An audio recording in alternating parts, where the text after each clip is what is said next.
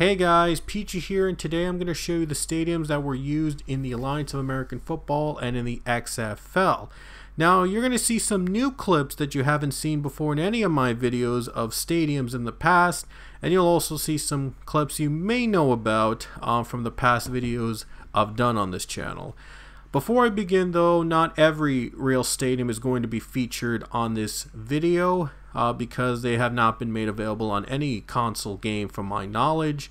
Um, I'm not using any PC uh, footage I've done because um, there really isn't a lot of mods out there for these two.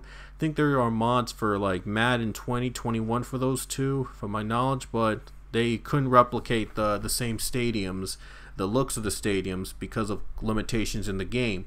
Same for the college football mod they did for Madden uh, 20 on the PC that I've done videos on in the past. But um, I'm only showing you all, showing off the console versions of the games because I thought they looked a little better, and um, they were as real as they get in terms of the looks of the stadiums. So um, the team logos are not going to be on the fields because those games were made like before the Alliance, um, before the Alliance was created or the XFL was created, or it was created after the Alliance and XFL both shut down. And again, again because it's console, you won't see the team logos on the field, but I will have the team logos on the bottom left of the screen just to know what standards are you they used for those games.